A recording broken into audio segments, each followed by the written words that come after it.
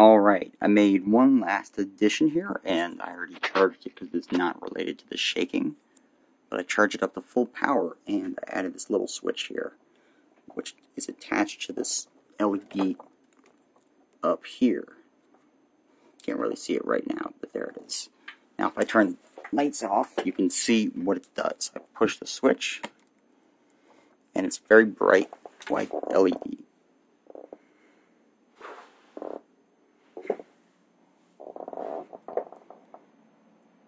There, there's my soldering hood, all lit up. Hello, New York City. Sure, people could have used this during the storm blackouts.